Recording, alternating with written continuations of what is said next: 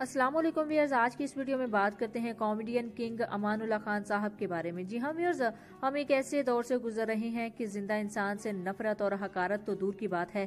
ہم مرے ہوئے انسان کو بھی نہیں بخشتے۔ ملک پاکستان کے معروف کامیڈین امان اللہ خان صاحب گزشتہ روز انتقال کر گئے تھے اور ان کی تدفین پیراگون سوسائٹی لاہور قبرستان میں چل رہی تھی کہ اچانک سے سوسائٹی انتظامیہ کے کچھ لوگ آ گئے اور امان اللہ صاحب کی میت کو سوسائٹی کے قبرستان میں دفنانے سے منع کر دیا گیا، جبکہ جواز یہ پیش کیا گیا کہ امان اللہ خان صاحب میراسی تھے، انہیں یہاں نہیں دفنایا جا سکتا۔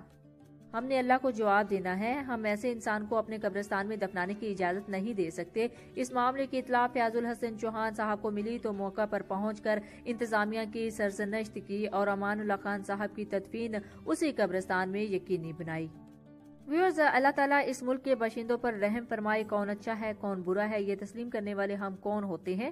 خاص کر امان اللہ خان صاحب کی بات کریں تو وہ ایسے انسان تھے جنہوں نے اس ملک کے لیے کنٹریبیوٹ کیا۔ ہمیشہ لوگوں کے چہروں پر ہنسی، بکھیری اور انہوں نے جب بھی پاکستان کا ذکر کیا تو ان کی آنکھوں میں آنسو تھے۔ چاہیے تو یہ تھا کہ ایسے انسان کو کسی اعزاز کے ساتھ دفنایا جاتا۔ لیکن جناب، یہاں اعزاز تو دور کی بات دفنانے پر ہی جھگڑا ہو گیا۔ اللہ تعالیٰ ایسے تکبر سے بچائے جس میں دوسرے لوگ حقیر نظر آئیں۔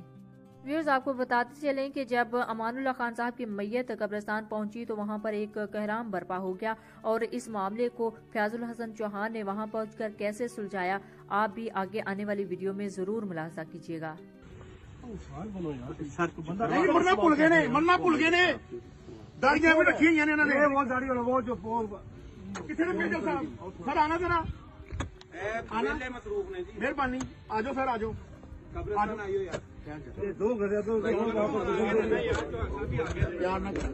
ਇਹਨੂੰ ਪਤਾ। ਹੀ ਨਹੀਂ ਹੈਗਾ ਕਿ ਕੌਣ ਬੰਦਾ ਹੈ ਕੌਣ ਹੈ ਕੀ ਹੈ ਸਰ ਕਰੋ ਬੱਚੇ ਫਟਾਫਟ ਕਰੋ। ਤੁਸੀਂ میجر صاحب سر۔ رضوان صاحب یار ایک قبرستان میں لڑکے بھجوا رہے لائٹ کے لیے۔ میجر صاحب کچھ دماغ استعمال کرتے سر کائنڈلی میری بات سن لیجیے پولائٹلی سر کائنڈلی میری پولائٹلی بات یہاں پہ کون سا جانا کہ یہاں پہ ترتیب لگی ہوئی ہے۔ سر ترتیب sir please please sir please کی بات نہیں ہے۔ سر میں پھر وہ آ رہے ہیں ندیم صاحب آ رہے؟